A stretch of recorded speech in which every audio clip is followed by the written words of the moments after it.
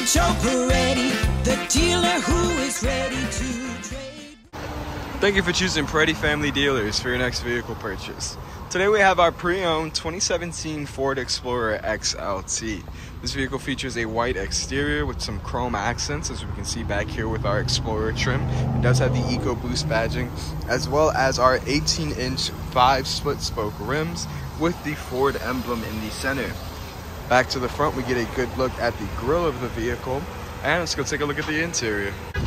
Hopping into the interior of our vehicle, we see that we have this nice two-tone tan and black interior. The vehicle does have fully electronically controlled heated front row seats and as well as our custom fitted WeatherTech all-weather protection mats. Sitting inside, we see that we have two small digital displays located on either side, as well as on the steering wheel, we have our voice recognition button.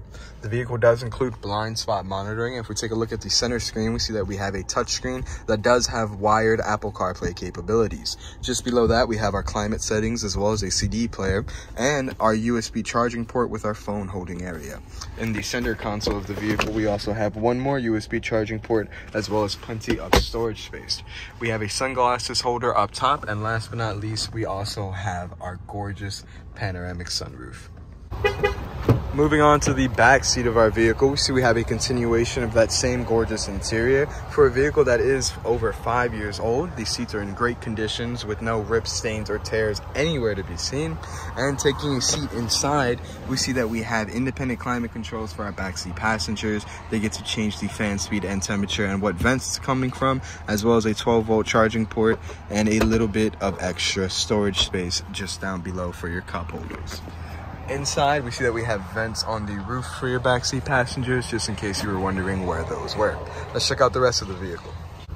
Last but most certainly not least, we have the trunk of our Ford Explorer. Popping it open, we get a good look at that Ford emblem and see that back here, we do have a custom fitted WeatherTech option, but hidden underneath this, we actually have our third row seating. The third row seating does have vents in the back, as we can see up top for them, as well as cup holders and speakers on each side with a little bit of extra storage space.